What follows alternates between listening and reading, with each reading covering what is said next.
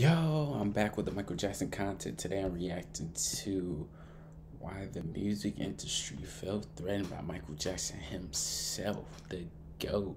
Now, before we get to the video, make sure y'all subscribe, join the guys squad, turn on post notifications. Michael Jackson videos just for y'all. Subscribe, please, please, y'all. Subscribe if you're a real Michael Jackson fan. Michael Jackson, the most popular artist of all time, possibly one of the most popular human beings of all time. We all know the story, best-selling album, an mm-hmm. unsurmountable amount of Grammys, setting a new standard in music video making, immensely wealthy, mm. and definitely one of the most important characters in music history. Oh. I don't think I know anybody who doesn't know about Jackson. There is one aspect of Michael Jackson that doesn't get talked about that often, business though. Something? something? that most likely side. was an important factor to him reaching his prime, and quite possibly his decline as well.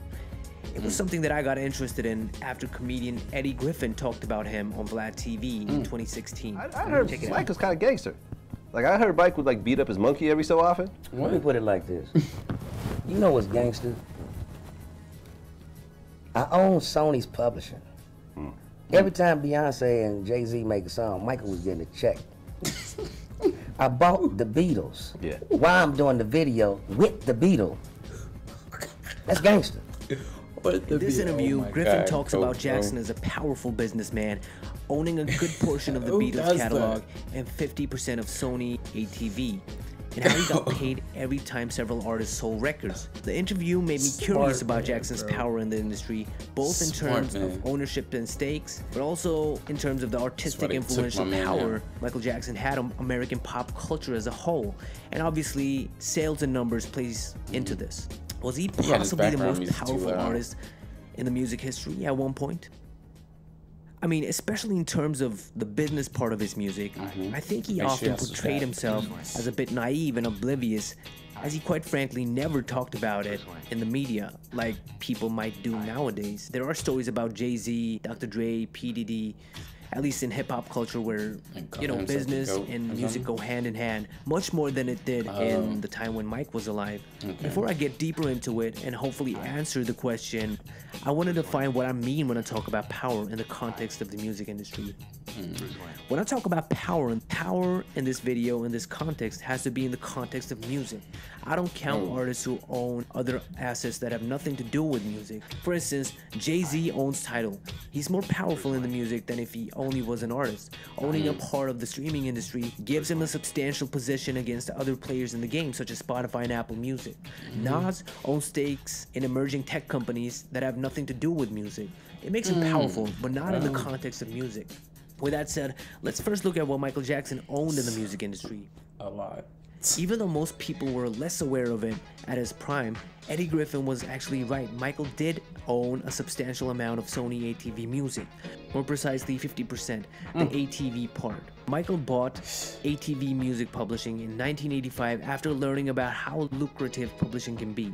The bid was of a price of 46 million US dollars, and his competitors mm. bid with prices that were close to his own bid. One of them was real estate tycoon Samuel Lefrak, another was a financier Charles Knapp, and another one again was the record company Virgin Records. Mm. Michael Jackson wasn't competing against any artist over this catalog, but big companies and financiers, entities who operated outside the music territory. Then there was a chance where I could have bought it.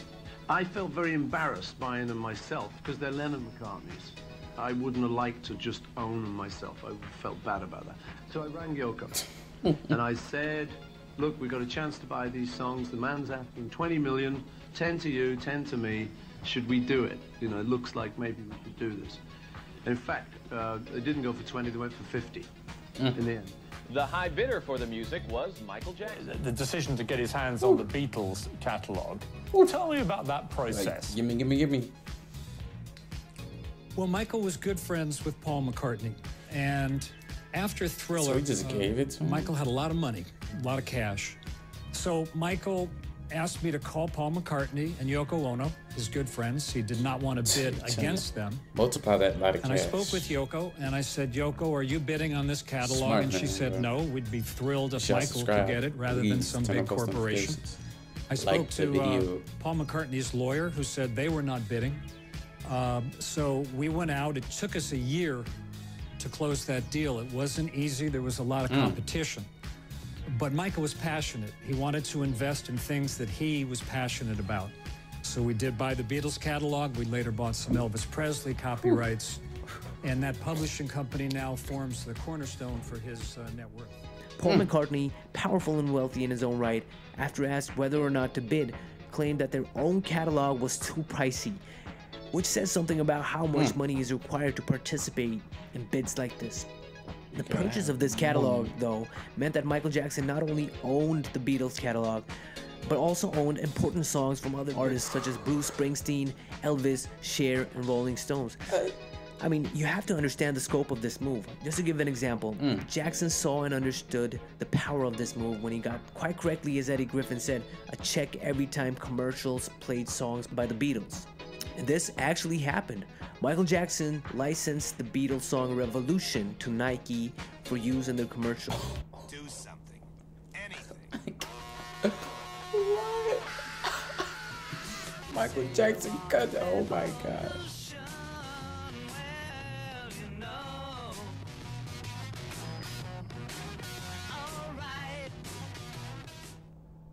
Mike got paid $500,000 to license that song. Not only did he have the rights to then 4,000 songs in the ATV publishing catalog, mm. which he could license freely, as I just said. Jackson got checks every time someone played songs from these artists on the radio or live or used a sample. That says a lot. So, just to clarify, ATV Music was initially a separate company that Michael Jackson acquired. Sony eventually, after Michael Jackson bought the rights to ATV Publishing, mm. decided to give Michael Jackson an offer he couldn't refuse, which was to merge ATV with Sony which is how we now retrospectively see Michael Jackson as a 50% owner of Sony slash ATV. The crazy hmm. part is Sony ATV would, after the merge, grow to become much, much bigger with mm. over 2 million songs in ownership in the Whoa. amount of songs in the company's publishing, with entire Wait, 2 million songs in ownership, in the amount of songs in the company's publishing, with entire catalogs and individual songs from artists such as Eminem, Akon, Shakira, Neil Diamond, mm. Bob Dylan, and Beck. So 50% ownership in the biggest music publishing company in the world. I mean, you gotta be powerful if you own 50% of the mm-hmm. biggest music publishing company in the world. That's not bad at all. Mm. In addition to this, though, Michael owned 100% of his own songs through his separate company, Mijac Music. If you think about it, publishing is probably the most sought after ownership in the music business today. If you own the masters of your song, you get 100% of the money coming from the song or album sold. Ownership of one's own music is not common, even today. Artists that have signed away the rights to their songs to bigger mm-hmm. labels for an advance check means that artists don't own their own music fully. Yeah, Mijac Music wasn't just Mike owning his own catalog, a catalog that is played constantly around the world because of Michael Jackson's music. It also meant that he owned individual hits. songs by Elvis Presley, Ray Charles, Aretha Franklin, Tupac, Rihanna, Kanye West, De La Soul, Black Eyed Peas, and today Kendrick Lamar. I mean, if you look at this list, you see all the artists that I just mentioned, and mm. many more. You can imagine the royalty checks for that catalog alone. Mm. Crazy. Put them diamonds on you, have a Billie Jean Oh no, he playing that song. Is at the end of the video. You know, is it still going? Oh, it's still. Tripping. mm. What song is this? Comment what song is it? Just like Michael Jackson got a dark skin friend. Then it's gonna get copyrighted, bro. Mm. I mean, this one is a given. Cultural impact, the way you have the ability to move and sway the culture in a certain direction, Dude, plays yeah. a big role in what might be perceived as power. Celebrity and American culture go hand in hand. In fact, celebrity and pop music are American culture in many ways, mm. especially mm. since pop music has been dominated by America in modern times. Michael Jackson was and still is a powerful influence over what we perceive as mm. American pop culture. Every move he made had an impact. He became the first black artist to be hosted on MTV, and since Mark Anthony Neal, a professor of black popular culture at Duke University, argues that MTV, quote, was the best example of mm. cultural apartheid in America, I think it strengthens the fact that oh. Mike indeed was powerful. Former president of CBS Records Walter Yetnikoff said in a 2009 interview with CNN that he remembers MTV wouldn't play Mike's videos because MTV had formatted itself as a rock station. This in turn made Yetnikoff threaten MTV to pull off videos of his other artists from the channel. Mm. You know, if Michael Jackson's videos, Billie Jean, Thriller, and Beat It didn't get played, all the other artists' videos would get pulled off it as well. So as you can see, MTV became bigger because of Michael's sheer talent and artistry. And Michael actually forced big people like Yetnikoff to do moves like this. That's how much power he had just because of his sheer talent and artistry. I mean, you know how to morph I don't think I know about any other artist today who has that kind of power. On part two of this, I'm gonna compare Michael Jackson with other artists, both contemporary and you know peak artists such as Paul McCartney, John Lennon, Jimi Hendrix, Elvis Drake. Presley, of course, Jay Z, who have been perceived as really powerful artists. Subscribe, like, all that stuff. Check me out on Twitter. Eh? Links in the description. Also, check me out on Instagram. Peace.